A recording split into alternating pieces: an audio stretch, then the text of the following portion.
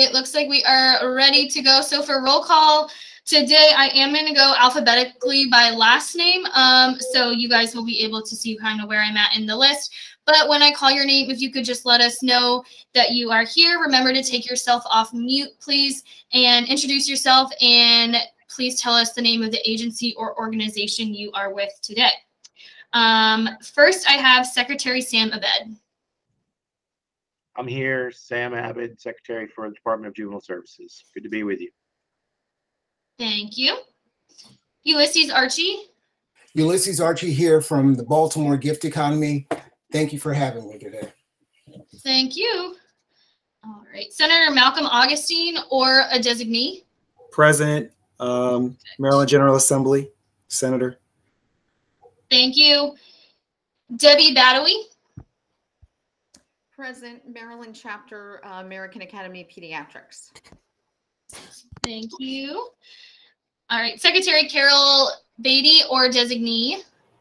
Hi, my name is Kirsten Ramagrath. I work for the Department of Disabilities. I am sitting in for Carol Beatty. Thank you. Christina Bethell. No, okay. And Secretary David Brinkley or designee. All right. Senator Jill Carter or designee. Um, hi, my name is Beatrice Amonting. I'm here for Senator Jill P. Carter. All right, thank you. And also Betsy Shikvinia here for Senator Carter. Thank you. Okay, thank you. All right, Heather Chapman. Good morning, Heather Chapman, United Way of Central Maryland. Great. Councilmember Z Cohen. You're here. Uh, present, and again, thanks for having me here. Thank you. Uh, Secretary Padilla or designee. So, Mike, are you here? Good morning, Michael Demidenko from the Department of Human Services, Social Services Administration, representing Secretary Padilla. Great, thank you. Tara Doty.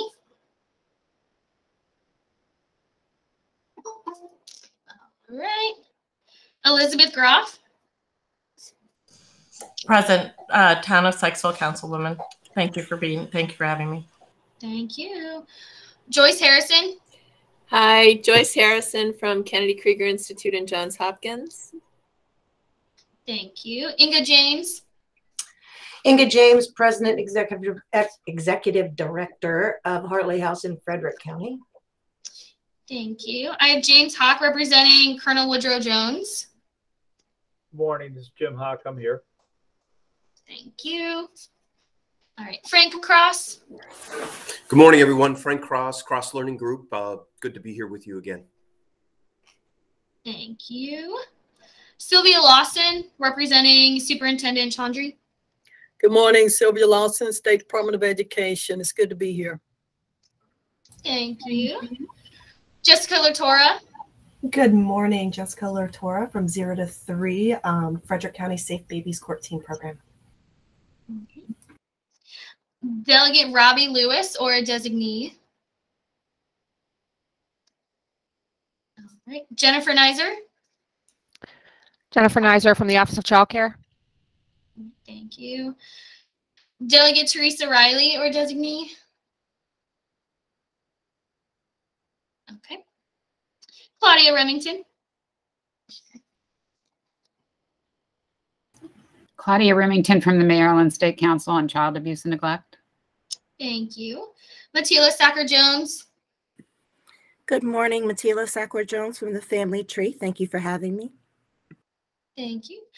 Fred Strieder.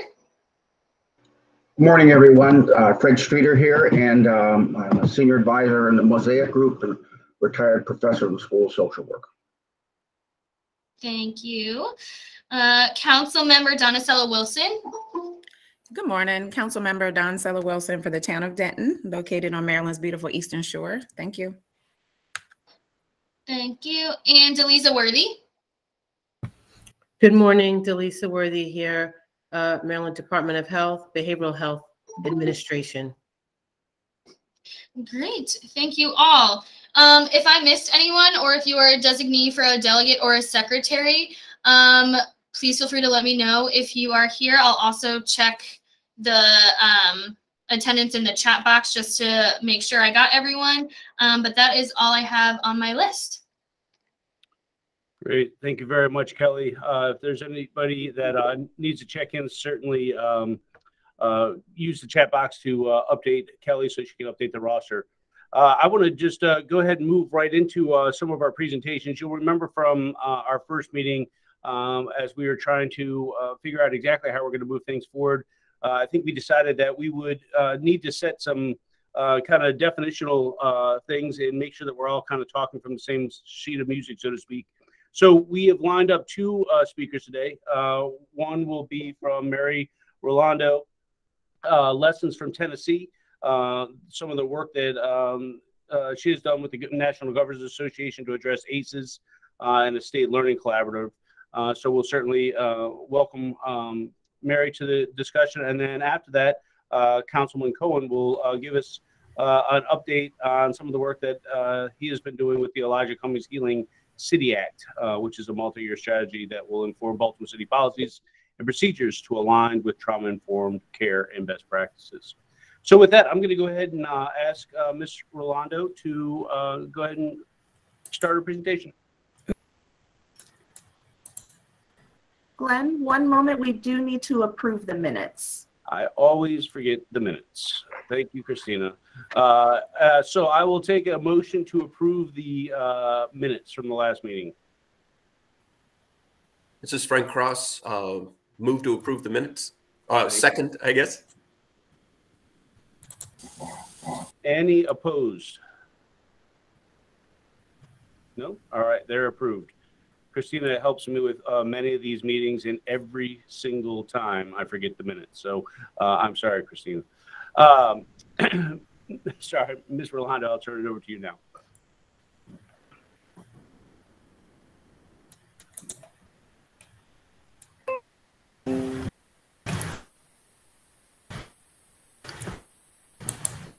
Well, um, delighted to be here. Uh, you certainly are an august body, almost intimidating to think about trying to talk a little bit about what we accomplished in um, when you've already accomplished so much. Uh, so please do not hesitate to comment either in the chat, which I cannot see, um, and uh, recognize that after I will um, annotate the topics that I um, talk about That you have a bit of the content um, that might be um, worth some of your attention. But let me just start that I'm really impressed with the significance of having your commission um, established in that's something that we didn't have we don't have in Tennessee and I looked at the composition of the commission and it um, prompts you to almost immediately become champions for this work. And one of the things that we did learn in Tennessee was that the champions, those of you who are in influential and grassroots positions, not that exclusive, certainly can advance the work um, to uh, and um, to help to mitigate adverse childhood experiences. I think it's very uh, savvy uh, to include um, among your designees uh, we did something similar with our three branch institute and found that it was just invaluable to have not only the the um, uh, usual suspects who were in the process to address adversity, but also some of the novel ones that would include um, adult correction uh, and the state police. The, the appointee commission are uh, certainly um, impressive group. And well, I would want to um, permit all of us to have a special role. Really remarkable to include um, your geriatric mental health clinician. Uh, know that the effect of trauma can be very serious um, problems um, adults and elders. So I applaud all of that and think that you have just opportunities within the scope of your law. The mandated functions create a path um, and yet, I think what we learned very quickly was that such uh, paths can be a compass, but not a blueprint. Um, encourage that you would use the mandate to the several mandates to um, think um, and act quite expansively. We have tremendous respect for and encourage um, evidence-based practice um, in all manner of uh, uh, policy and service delivery. But there certainly is a place for encouraging innovation. What we know from our own experience and from our friends at the Harvard Center for the Developing Child is that if the, there is no innovation, there is nothing then to prompt something to become evidence-based. So I hope that you will look at your opportunities there to, again, think and act expansively. I think it's also notable that there is a requirement of you as commission members to participate in training as well as then to be accountable for the efforts moving forward. But mostly what I applaud is that you are established in the law because this is the base for sustainability. Um, which is a crucial element in culture change. Uh, the matter is, this is not a sprint, it's a marathon. One doesn't snap her fingers and have um, trauma informed culture all at one time, as you know. So, one of the things that I was asked to talk about is the learnings that we had from what in Tennessee we named Building Strong Brains Tennessee. And so, just by virtue of background, um, I will read our mission statement, which is that Building Strong Brains works to change the culture of Tennessee so that the state's overarching philosophy, policies, programs, and practices for children, youth, and young adults utilize the latest brain science to prevent and mitigate the impact of adverse childhood experiences. And so, right away, I've already acknowledged the value of public private partnerships. In Tennessee, we had a three branch institute to whom we held ourselves accountable. And in the same way that your um, law uh, designates that there would be at least two people of some uh, rank um, in each of the state agencies to participate in your movement going forward. We too had that, again, not in law. But what we recognized very, very quickly was that to the extent that we had a public sector group that we ended up referring to as the public sector steering group, we needed to balance that with the private sector with your composition, you've already got a good um, start on that, and I applaud it because the value, of course, of having the private sector involvement is that we know that solutions to all of these issues are at the community level. There is clearly um, a role for everyone and all agencies because there is no silver bullet in the way that we can say we can save lives by using um, seatbelts there is no single response that can be made to the matter of um, childhood trauma and adversity. And so, with the nature of change agency not being linear um, and being very organic, um, then one has to start where the organization, the agency, and the people are. So, relative to the providers that you have involved in your network, and I'm very impressed with the the quality of the um, collaborations and the like in Maryland with the experience that I've had with you over several years now. I think that um, one of the things that you'll want to be able to identify is the extent to which organizations are um, trauma aware, trauma informed, and um, their ability, uh, our collective ability to move forward. So I would um, uh, recommend that you look at what um, your neighboring states of Pennsylvania and New Jersey have done in developing toolkits to assess um, where an organization is relative to trauma um, awareness and um, trauma informed uh, practices because those toolkits will help you to evaluate whether or not change has occurred. And also, it's a way to applaud uh, organizations for moving forward. And with the state agencies, um, certainly encourage that there be information sharing among you about what is working well and where other things can move, be moved forward, because there's a great difference among the organizations and the agencies in their familiarity and foundation with trauma um, one of the states that participated in the NGA Learning Lab that I got to help with um, is considering what they need to do with their overall um, HR onboarding process to make sure that regardless of the position that one has in any of the state agencies, that they'll have some familiarity with the potential um, deleterious effects of trauma and how that might influence not only how they view the people with whom they work, but to stop and do a self assessment about how it is influencing their own work performance. And then, of course, the you know the importance of um, the concepts and the realities of diversity, equity, and inclusion are so important um, because we know that um, you know trauma has no social, demographic, uh, geographic, or economic boundaries, um, and therefore uh, it is important to have everyone at the table we found tremendous benefit of using research-based language and training at all levels and in all domains of our activities with Building Strong Brains Tennessee. We had um, the good fortune to work with the Frameworks Institute. I'm sure that most of you are familiar with the caliber of the work that they do in helping us to communicate in a variety of areas, only one of which is child development.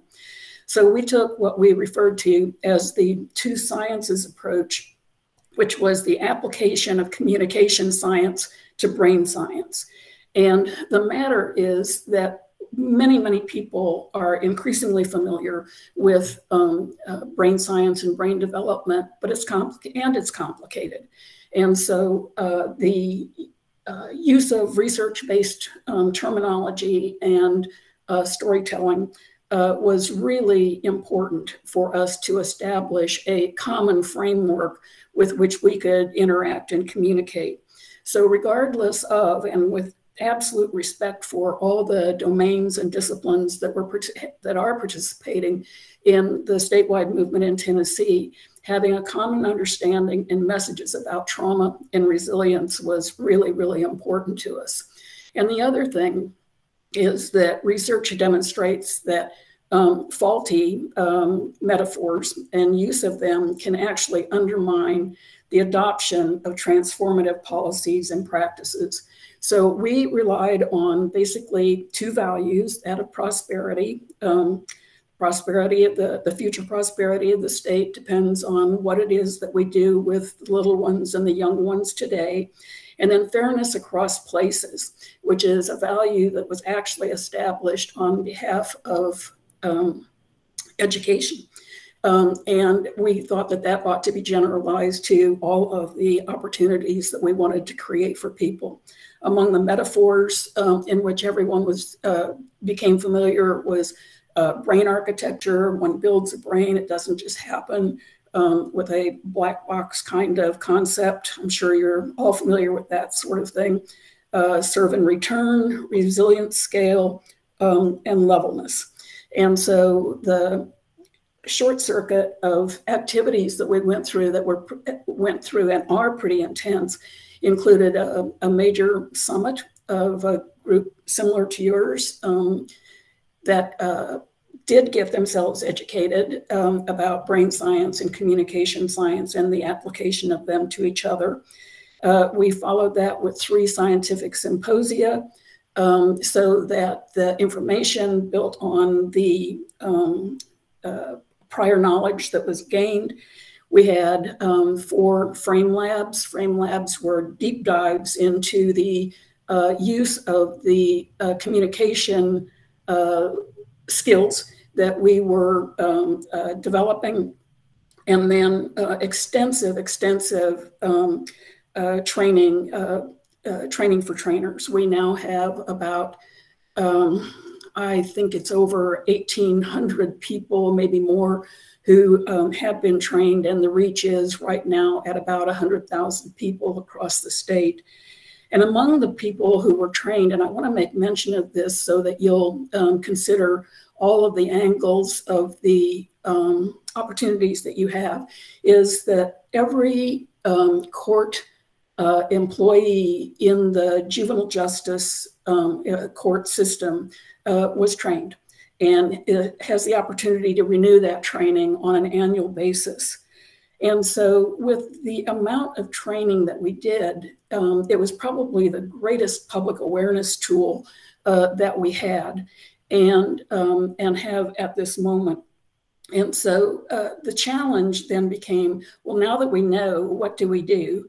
And so, at its most basic, of course, um, it is to empathize um, nationwide. Um, I think that there is more affinity for that notion of not what's wrong with you, but what happened to you. And then the other is to lead from where one is. And I'm going to stop for just a moment um, and close the door.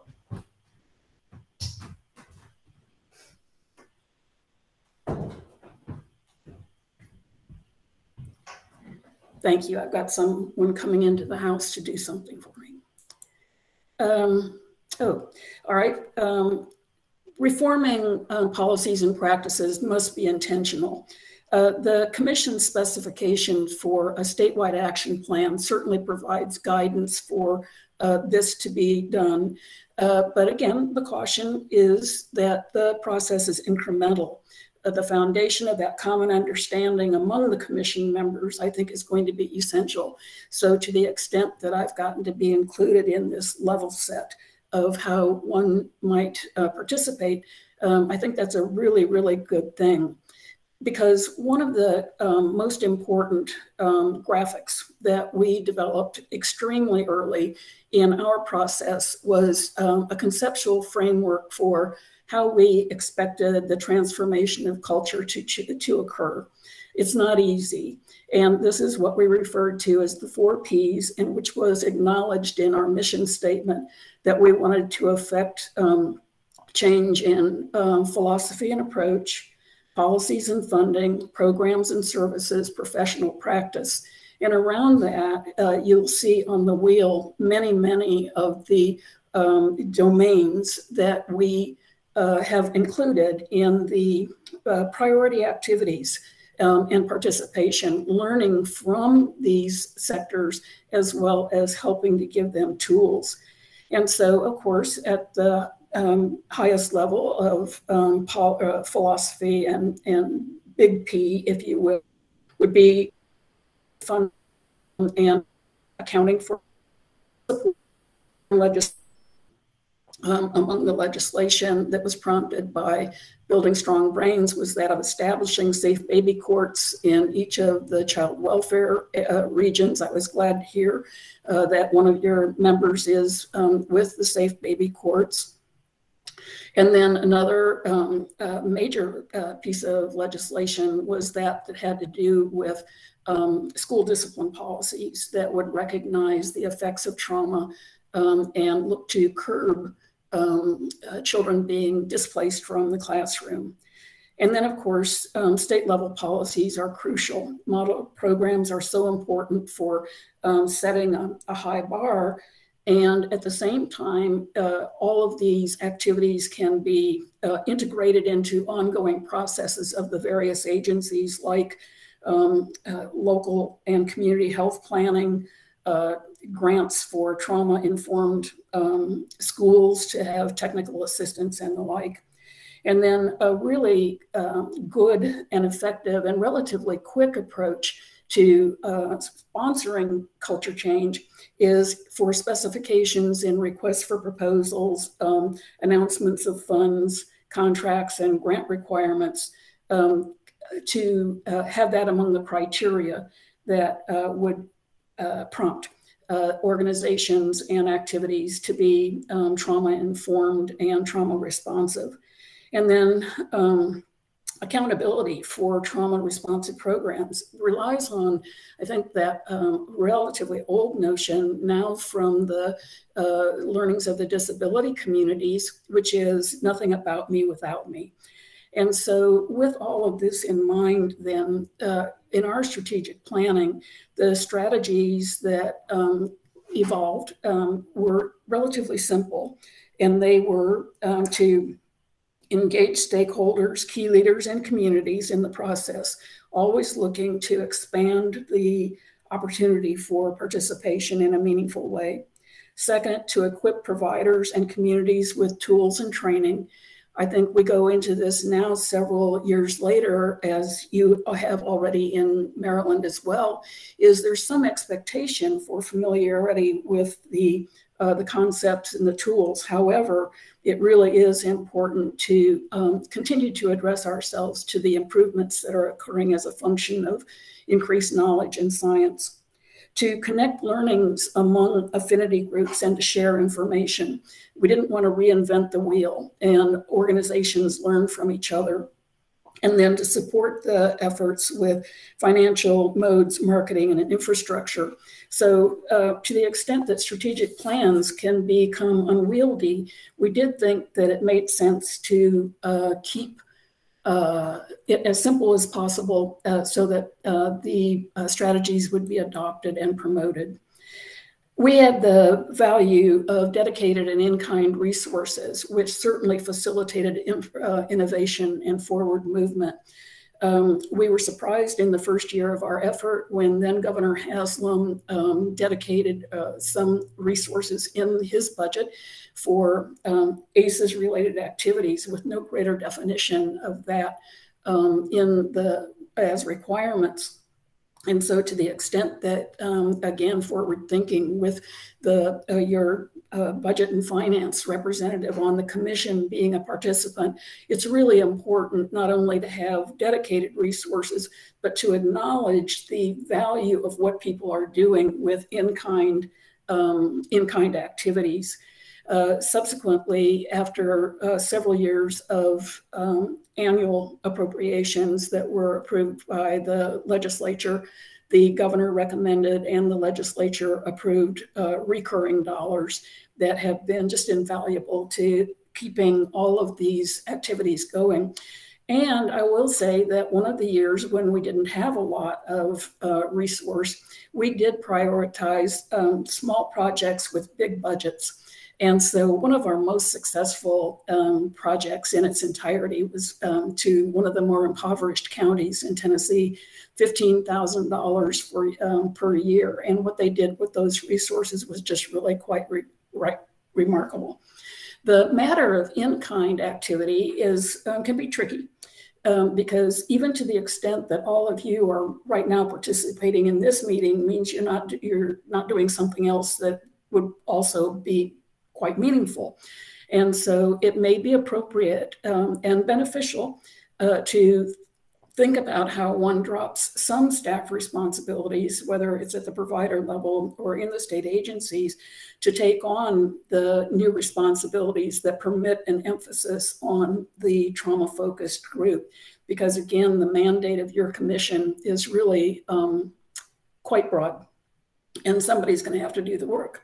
And then uh, one cannot overstate the significance of education um, in um, addressing trauma and movement forward. We know that schools are where children are and young people. And uh, now, to the extent that uh, many states, including Tennessee, are looking at the issues of um, uh, educational opportunities that are not necessarily of um, uh, uh, four-year post high school um, degrees and what it takes for vocational um, education and uh, the like. Uh, one needs to understand what is going on in that environment as well, um, because people bring their trauma experiences with them. So education continues to evolve, and that's a wonderful, wonderful thing.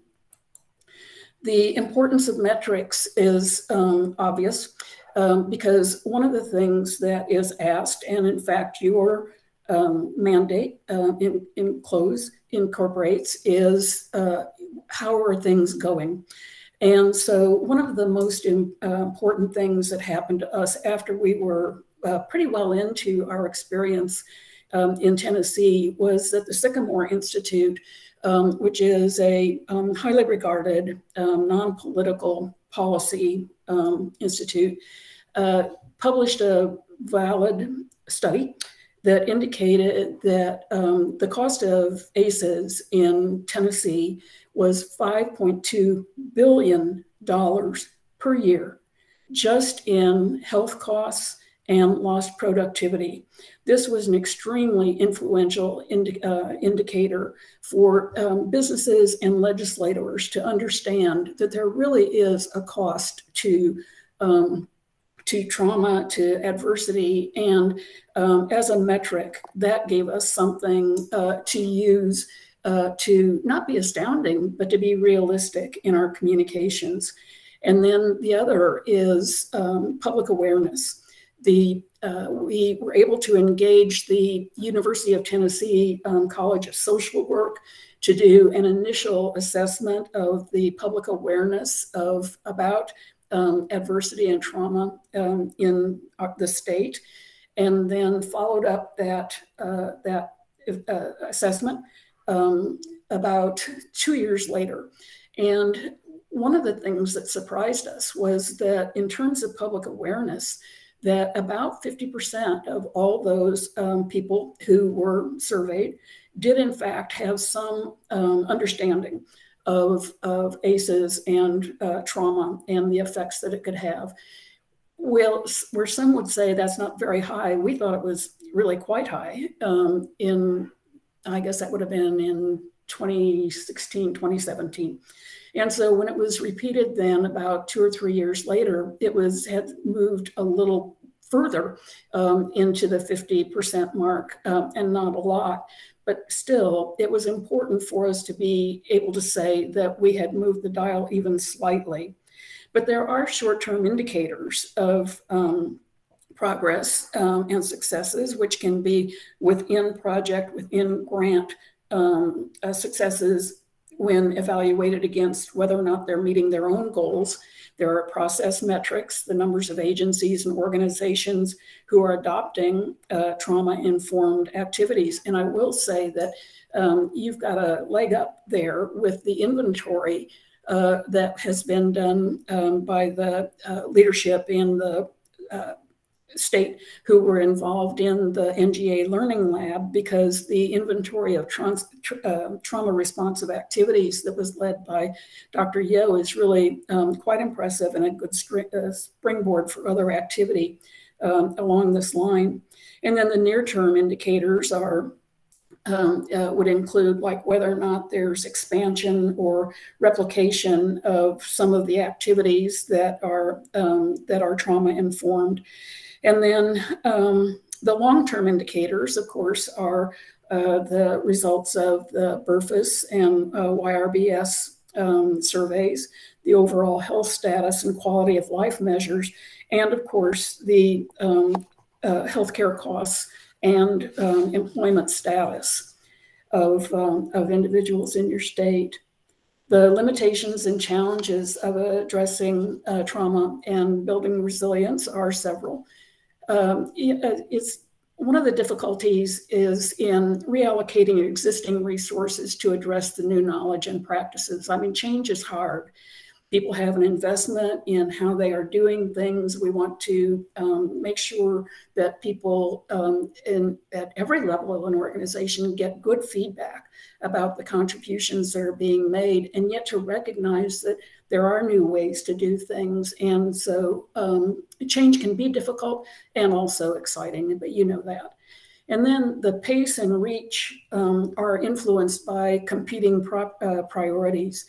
Uh, the safe baby courts are a good example when we were establishing them in um, here in this state, one couldn't just flip a switch and say, okay, we're going to stop all these processes that are happening in the juvenile court system and do something different. It had to be developed over time. You're not going to stop some uh, system practices that are um, happening uh, overnight, uh, but you you know that. Um, and then just to, is just to acknowledge that um, uh, change is hard and sustainability is hard. But I uh, encourage you to, you know, work the statewide action plan again with that caution that, um, you know, it's a, a, compass, not a blueprint. And so uh, one of the uh, really wonderful things about Maryland um, is that you've got some tremendous things on which to build as you go forward. And I, I think that there are many of you who've been participating in this. I know only a few of you and um, appreciate uh, that uh, there's a real commitment to do this work. That's why you've got enabling legislation. I think also uh, Governor Hogan's executive order um, from last May about the state agencies' um, policies and programs uh, being focused on uh, trauma informed um, uh, care models is really um, great for uh, being um, more than an initial step. That's that's big. And then the application of the 25 million of, of the coronavirus um, emergency supplemental funding for the Bounce Back program is terrific. Uh, a concern of all of us is that the pandemic, of course, has created an environment uh, that you and I didn't necessarily experience as um, children but children are experiencing it now. And so, to what extent is there that common trauma that might um, have residual effects from this point on? And then I think the other thing that I want to mention and applaud is that you've got um, existing uh, cross system partnerships to support children and families, not the least of which is the, um, the Children's Cabinet uh, it's tremendous that um, you know trauma responsiveness is among the uh, priorities for um, for the cabinet, and then the the value of your local management boards. So I um, I wish you well. I think you've got a lot to work with, and um, I'm honored um, to have gotten to um, speak with you uh, for a, a little bit this morning. Thank you so much. Thank you very much, uh, Ms. Rolando, for all the uh, very valuable information and um, uh, looking forward to continue to collaborate with you and uh, with the state uh, as we continue to move forward. Are there uh, any questions for Mr. Rolando? I see Christina.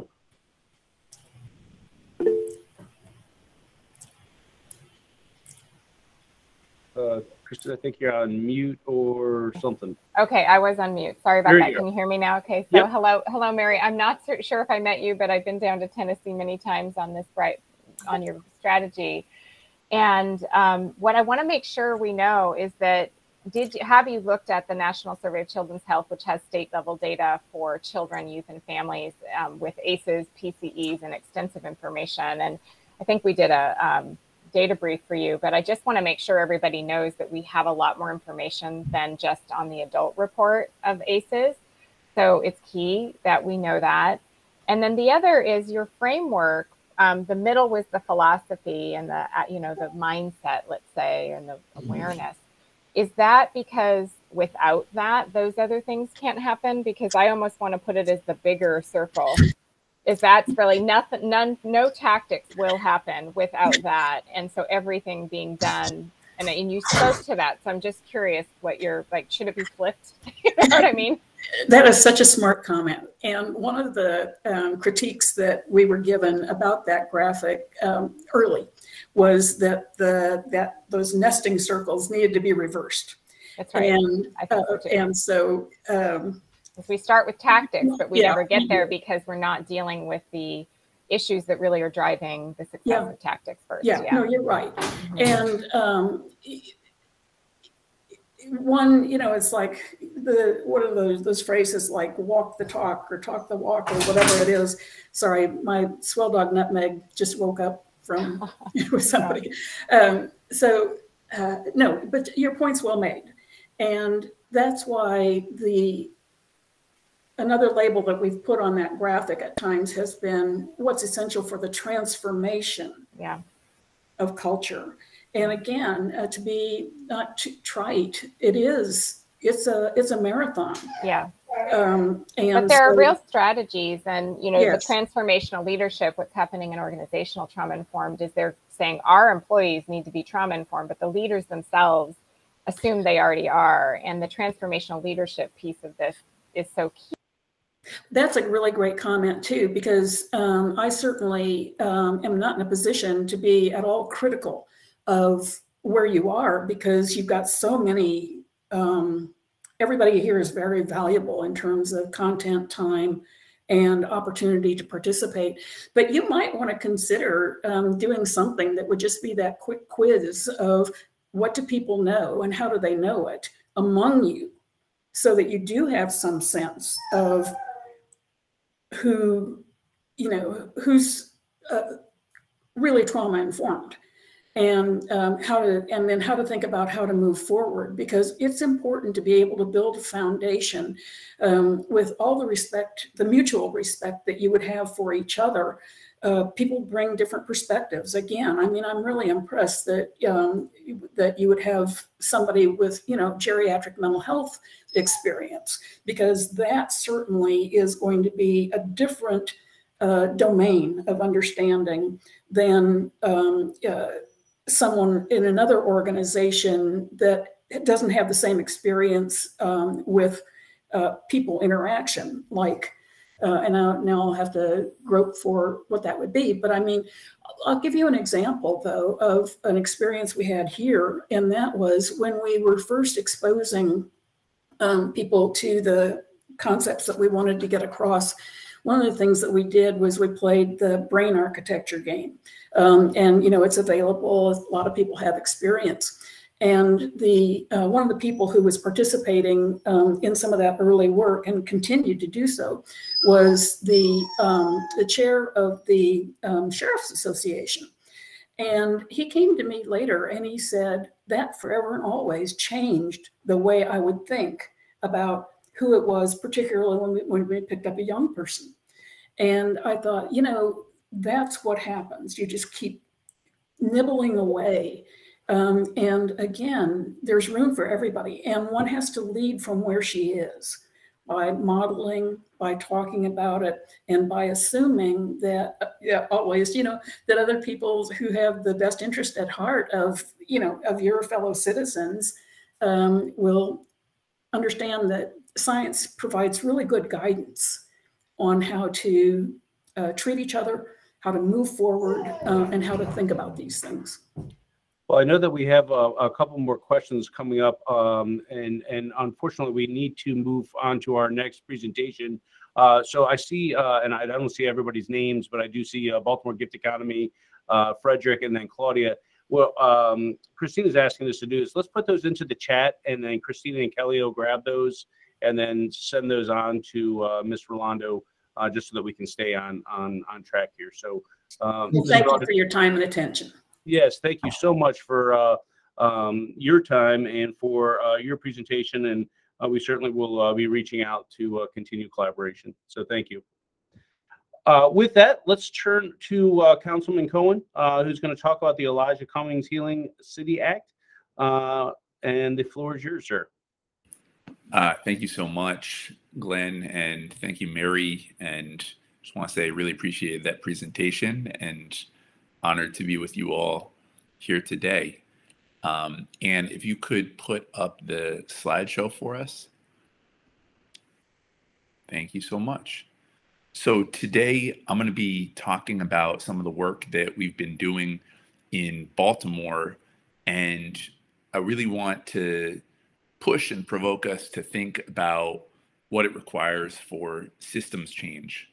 Um, we know that individuals across the state of Maryland are impacted by local, state, federal government. And we know that too often government has unfortunately been a driver of trauma in our communities. And I think that it's incumbent on this commission and on all of us to figure out ways that we can really reverse that trend. Um, so with that, Anne, could you go to the first slide? So I'm going to start in February of 2019 when there was a school shooting in Frederick Douglass High School. A parent came in with a gun during school hours and shot a school staff. Um, this was an incredibly traumatizing event for the young people, for the students, for the staff, um, for the entire community. And though it did not make national news like many school shootings tend to do, um, for the young people that was there, it, it, it was really a devastating event. And what I think was also really challenging and frustrating was that there wasn't a really robust response at that time. Um, a lot of the, I remember talking to teachers who felt like um, they'd just been kind of left to deal with their trauma and fear and frustration and sadness about this incident. Um, and, and, there was just sort of this empty feeling. Um, you know, the article says a struggle to return to normalcy that the school community felt. Next slide, please. And so we decided to hold a hearing in the Education and Youth Committee of the City Council, and it was focused on youth voices, youth violence. And a lot of the adult conversation at the time was really focused on whether school police, SROs, school resource officers should have their guns when they're walking around in schools. Um, the argument being that a good guy with a gun might have been able to prevent a bad guy with a gun from using it. Um, there was some talk about should we have more metal detectors, but when we held this hearing and when we heard from the three young people that you see in front of you, Damani, Jayana, and Brianna, they wanted nothing to do with that conversation. In fact, they said, you all are far too focused on how to better police us. What you need to be focused on is how to prevent acts of violence from happening in our lives.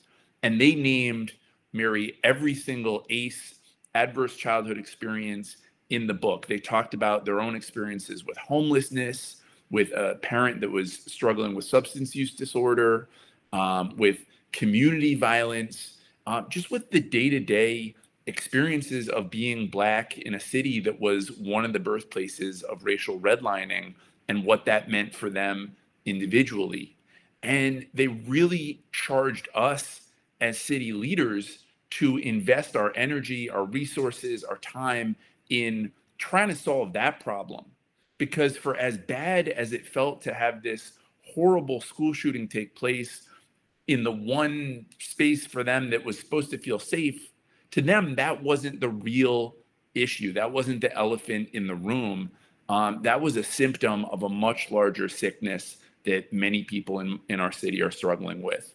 And so their mandate for us was focus on the trauma that we as young people grow up experiencing. And for me as a I'm a former Baltimore City public school teacher and when you hear young people speak with that level of clarity and precision um, and you know, when their critique feels that spot on, it's incumbent on us to really listen and to follow up. And so I went up to the young people after the hearing and said, "Look, I think what you said is really profound and provocative, and let's try to figure this out together." Um, because I, I can't, you know, there, there's nothing that I'm going to be able to come up with that is going to be any better or any more meaningful than what we could produce if we work together. Next slide, please. And so we started a listening tour around the city of Baltimore. Um, we listened at City Hall, in libraries, in laundromats, in rec centers, in classrooms. We had over 200 sessions. Um, the young people helped to guide some of them.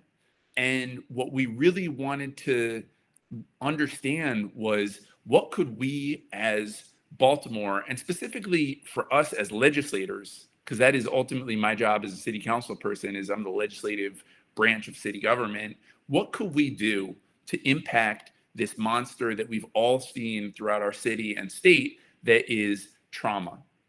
And we asked folks in basically every community to participate and to be part of the solution.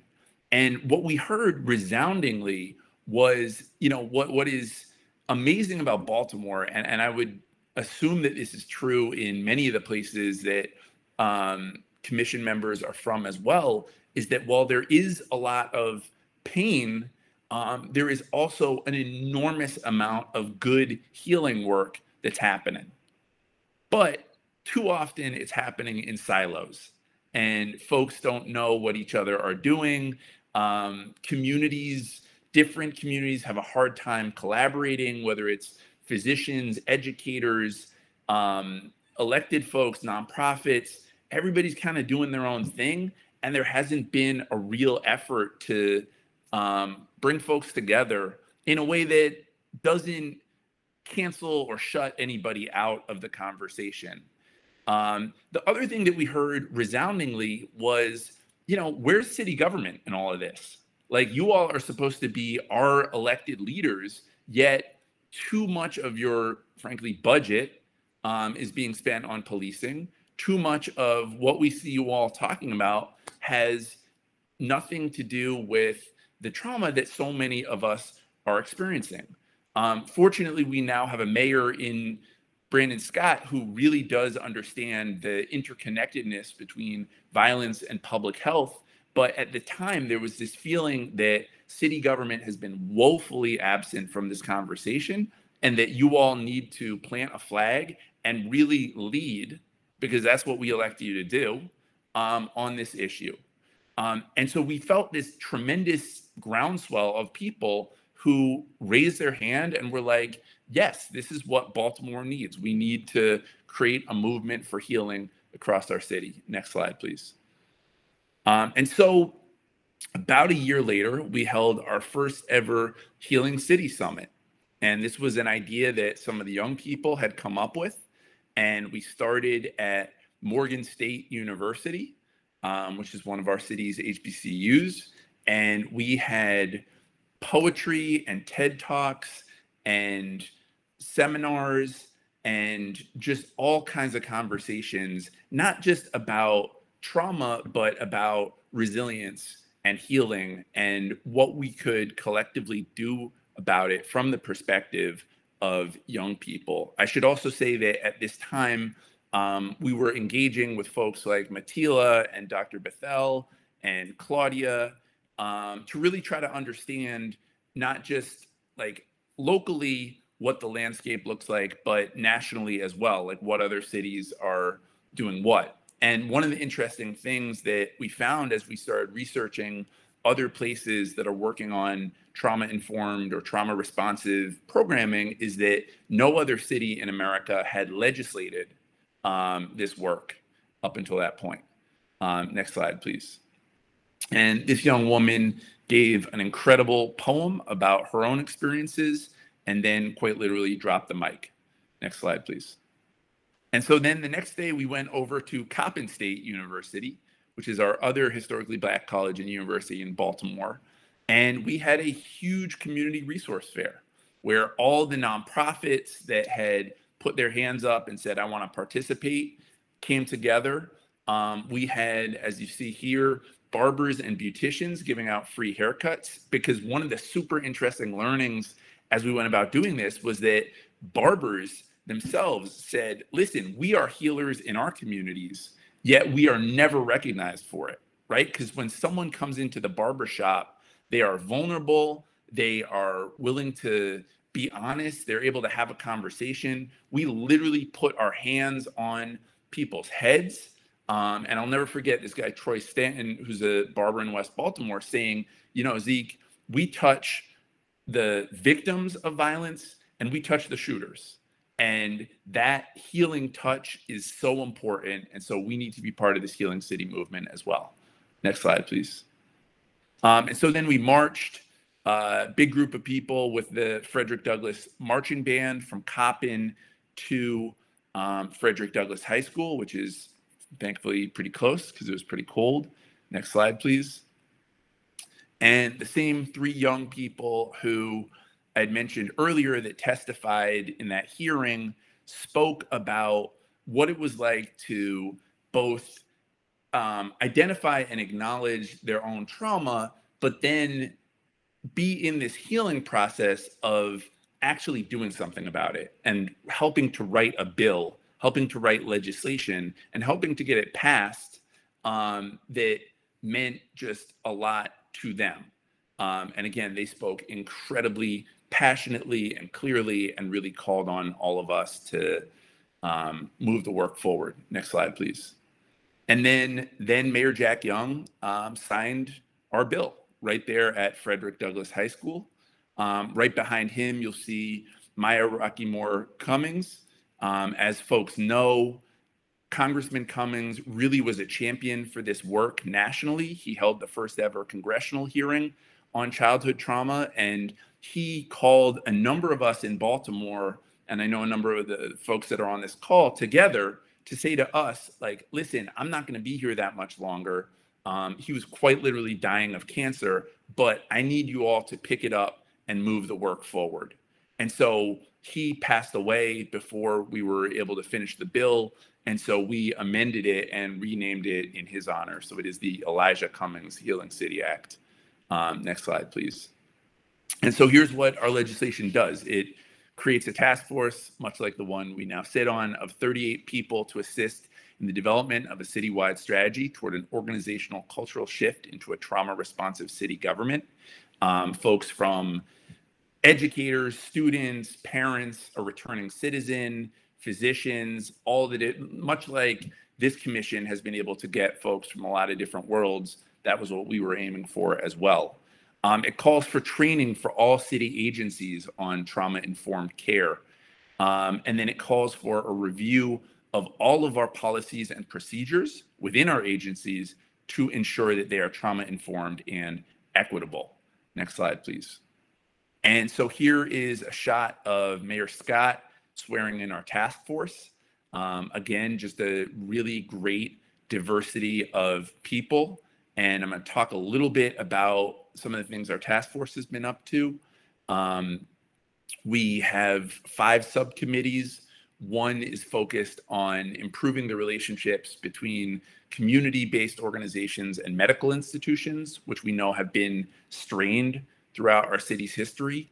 Um, we're actually working with a church in Southeast Baltimore that is uh, almost all Latino congregation, as well as um, Hopkins, to create um, trauma informed services, medical services within the church, and actually create a healthcare navigators program.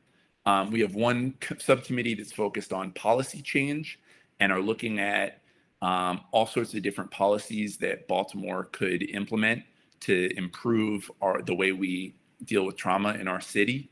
Um, we have a subcommittee that's focused on decolonizing trauma. One of the important learnings for me, and I think for us, was that you can't talk about trauma in a city like Baltimore without acknowledging race and racism and the role that segregation and inequality have played in shaping a city um, and frankly our state that is deeply inequitable and where trauma is disproportionately located in communities of color. And so this group is really focused on how do we do this work in a way that centers um, the people who've experienced the most marginalization. We have a youth group they're working on reducing youth homelessness and getting our schools of social work together. And then we also have a training group. Um, and I'm going to talk about our trainings in a minute, but they're in charge of helping with our trainings and evaluation. Next slide, please. Um, so we, as we designed training for the city of Baltimore, um, we wanted to make sure that our trainers were Baltimoreans. Um, we, you know, Dr. Bethell has a really good line about we are the medicine. We believe that healing has to come from within, that we can't just import someone from Philadelphia or New York or DC um, to teach us how to be trauma informed. We have folks with lived expertise right here in our city.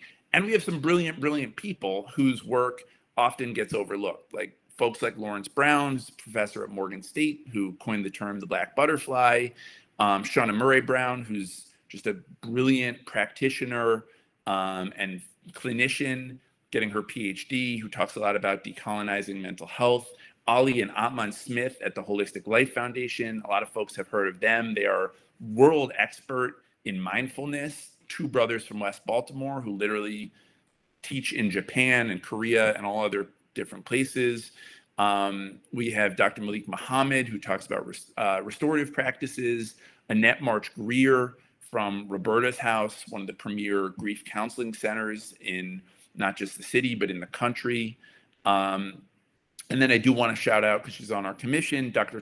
Tara Doherty, who has really been our lead consultant and has helped us keep all of this together and has just done a absolutely phenomenal job. Next slide, please.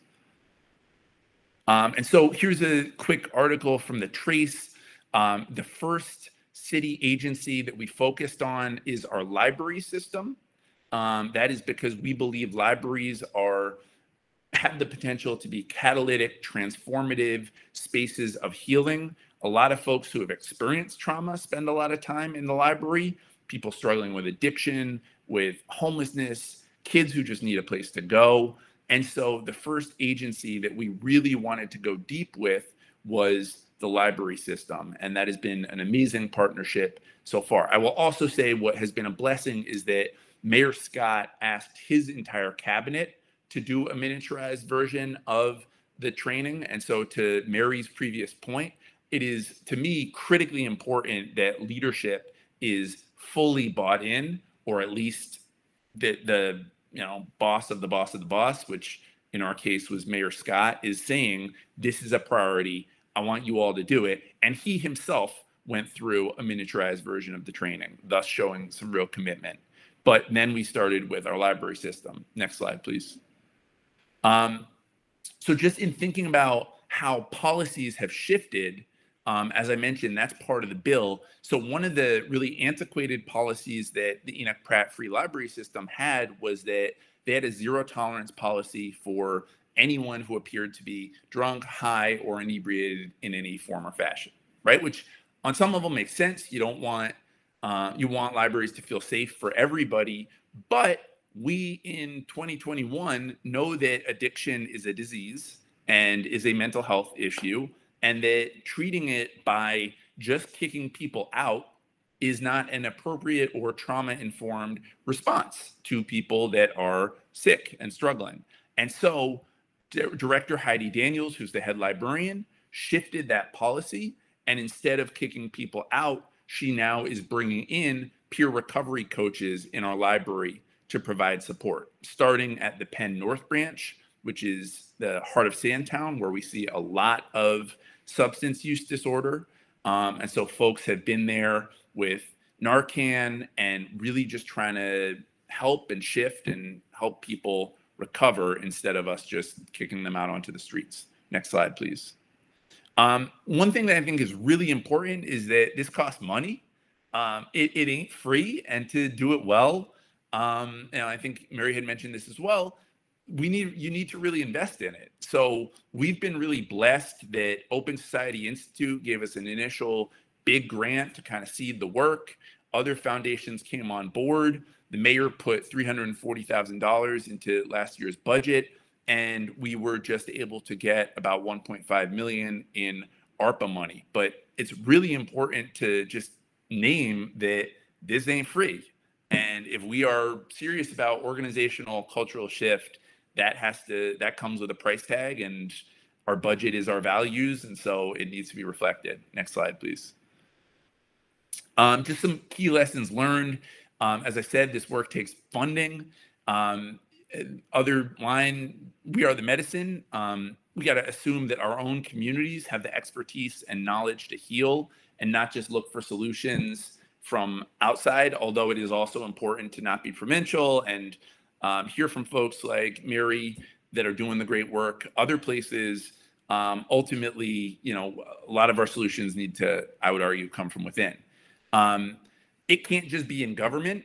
It's been really important for us that the whole Healing City movement has sustained itself, that people have continued to push and hold us accountable, and that there's just this real organized effort around this work. Um, folks know that if community's not feeling it, like if they can't touch it, if it feels distant or just like very jargony or academic, um, it ain't gonna work. Uh, so community needs to see themselves reflected in this work and not just as like ha- hapless victims, but as part of the solution. Um, government shifts are needed at all levels. I think we're doing that work here at the state level, but local, state, federal. Um, one of the things we found was that a lot of our agencies that I would have liked to put in my bill, I couldn't because they're actually state agencies. So, like our school system, our police department, not city agencies. So, when I wrote the Elijah Cummings Healing City Act, we could not name our schools or our police, which is like a huge miss. We were able to create MOUs and we've had support from the leaders in those organizations. But to me, it's really important that we have like a blended approach between local, state, and federal.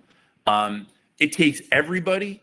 Our philosophy has really been if you want to be part of healing the city, it is critically important that everybody can have a seat at the table. We're not canceling, you know, we're not, Baltimore has a way of, um, pe- people get really fixated on uh, conflicts and beefs that are age old and irrelevant and often it like hinders work. We've tried to be really really intent intentional in creating a table that is for all of us um, still acknowledging the ways that um, oppression has shaped power in our city but also saying like we all got to do this together if we're going to do it.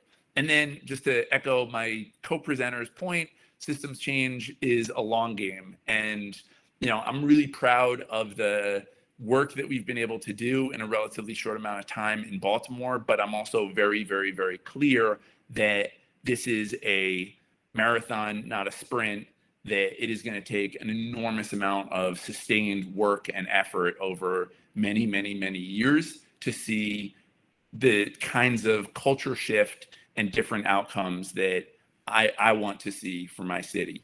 Next slide, please.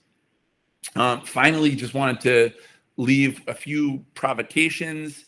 Um, you know, is this something that folks in other areas would want to try to do? Um, legislation, as Mary said, I think is really helpful because it puts it in law and then it's sustainable and like there's an impetus to have to do it. But we don't need necessarily legislation, but you do need a groundswell. Um, and then the other thing I wanted to leave us with is how can we build power across the state for this type of work. And I think this commission is a great example of how we're doing that. But I do think that for Maryland to really heal um, collectively, it's going to take a lot of cross jurisdictional work and intentionality around the Eastern Shore and Baltimore City and rural and urban and suburban, like everybody working together and not in silos. Um, so, again, appreciate the time. Um, honestly, really honored to get to present to you all. And thank you for having me here today. Well, thank you very much, uh, Councilman. Uh, very informative uh, presentation and uh, great to see all the great work that's happening up there in Baltimore and uh, certainly interested in how we uh, can all work together to support. I think we have about five minutes uh, for questions. I think I see one up. Uh, I'm sorry. I see. I see a Baltimore gift ec- economy. I don't. I don't know if that's the, the actual name there. Ulysses Archie from No, Baltimore. there's Ulysses. Yes. Yes. Yeah, I, I just wanted to, you know, um, uh, on the ground in community, I I see that you have a lot of young people involved, and I see that there's a kind of a little bit of a top-heavy uh, doctor so and so in this, uh, and there's uh, is there a bit of community uh, members that are not children or not youth that are part of uh, your your work? Yeah, absolutely. So, um, again, a lot of the both trainers and pretty much our entire task force is community members and community based organizations um, that are in the mix in some form or fashion. Um, a lot of the, you know, uh, in the previous presentation, it was mentioned um, that having someone who is specialist in, or at least just understands sort of geriatrics, um, is really important. So having at least one older adult in the mix has been Oh. important for us. Um, we also wrote the legislation in a way where having a returning citizen um, is a critical part of our task force and just getting a perspective from someone who has been inside the walls. Um, we do believe that young people are critically important to this work. One group that I failed to mention that helps us train is the Youth Healing Alliance, um, which is a group of young people in Baltimore that support mental health work. Um, but you know, I would say that I think um, if you look at our task force and our trainings, um, you know, it's it's it's Baltimoreans of every stripe and every fashion. Um, and you know where where we fall short in that, always open to, you know, if, if you got some folks that need to be there, let me know because always interested in how we can do better. Thanks. Thank you. Uh, I think the next is uh, Sherry Price.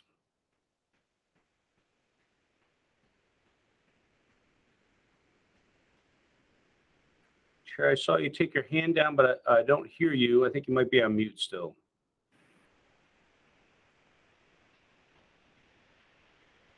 Glenn Cherry um, le- left the meeting, so she might be having some technical issues. All right, we'll come back to Sherry. How about Jennifer Nizer?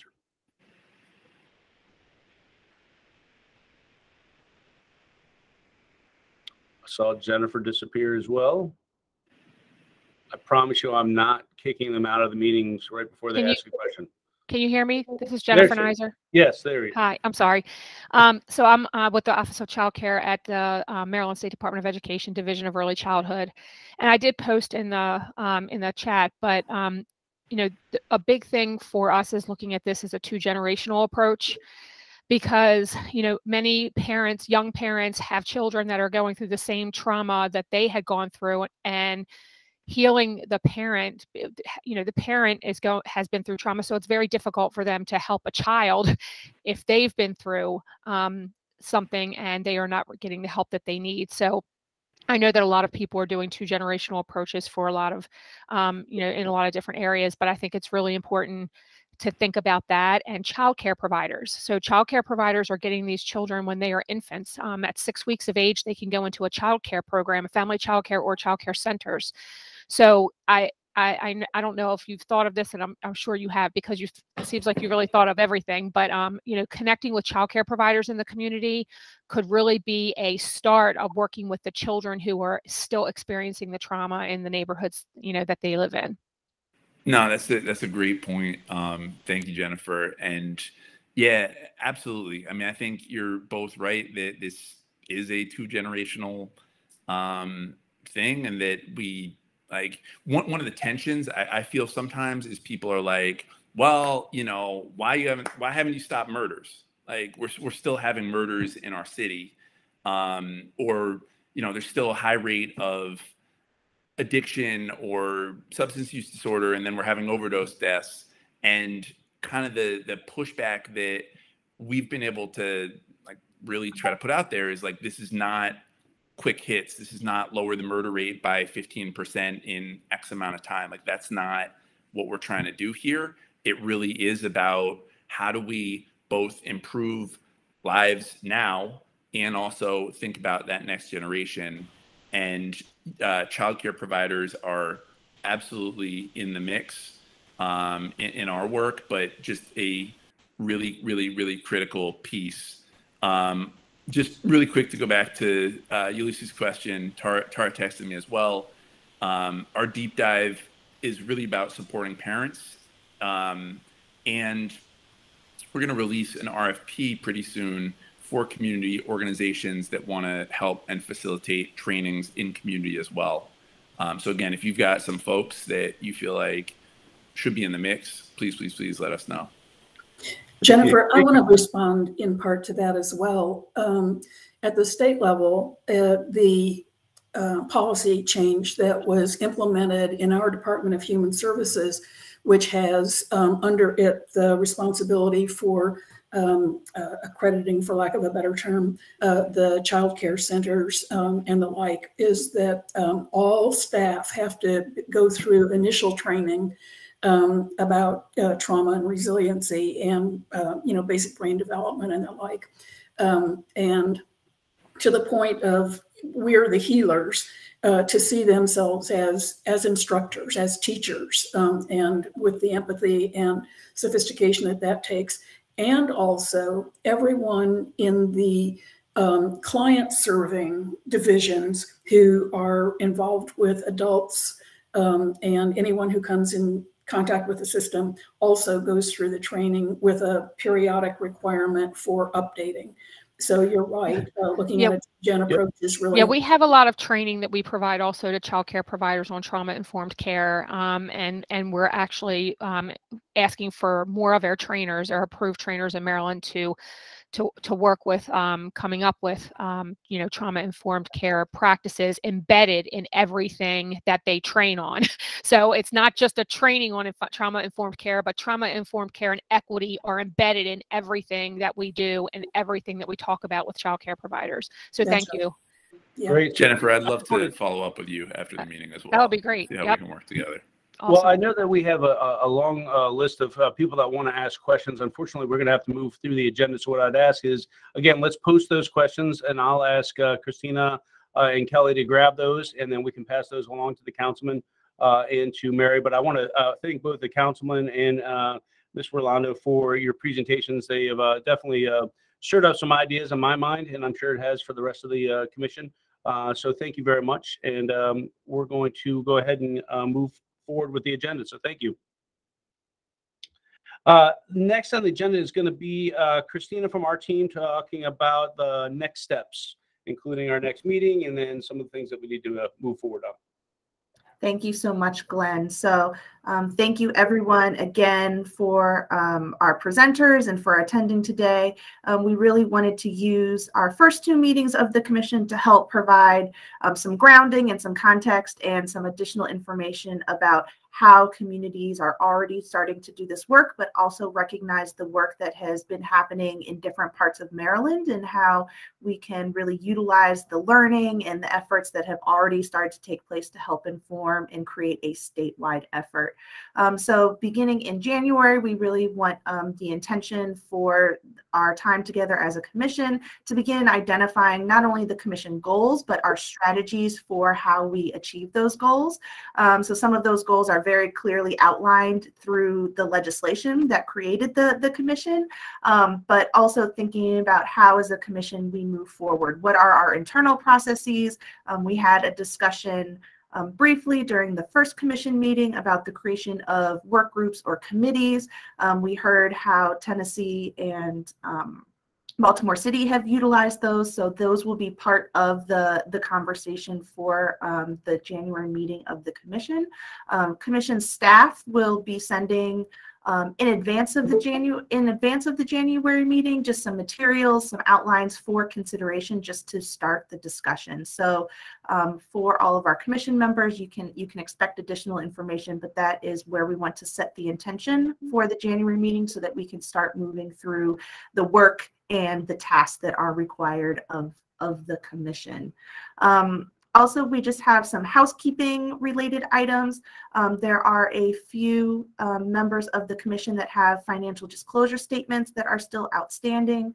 Um, Kelly has reached out to those individuals, so thank you for those who have uh, um, completed those statements. For those who have not, um, the deadline is by end of day tomorrow, which is Friday, December 17th. If you have any questions, um, you can either reach out to Kelly and we can also connect you to um, appropriate staff if you do have questions. Um, also regarding the Eventbrite registration, um, for our commission members, um, commission members do not need to register through the Eventbrite. We really are utilizing the Eventbrite for members of the public um, so that we can um, ensure that we have a good attendees of interest, but also um, that we are creating a contact list. We know there is a lot of interest from members of the public in getting involved of the work of the commission, and there are opportunities for members of the public to participate in um, the work of the commission through work groups or committees. So um, we also want to take note through our Eventbrite registration. So again, Eventbrite registration is um, intended for members of the public um, and, and more administrative on, um, on our staff end.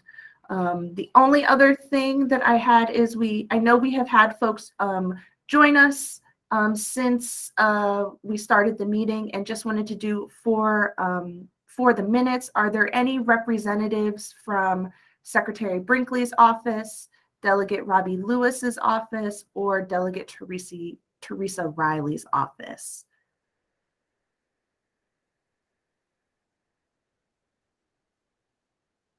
Okay, hearing none, we will just wanted to um, have that opportunity to ensure that everyone was represented on the commission for um, the meeting notes.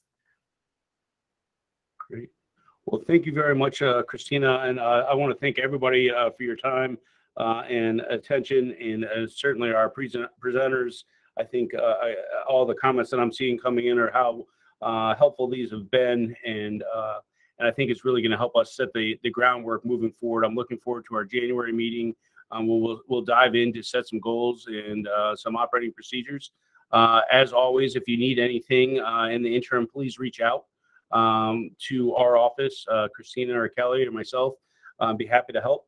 Uh, and uh, other than that, I'm really excited to move things forward. And I hope everybody has a great holiday season. And we'll see you next year. Thank you, everybody.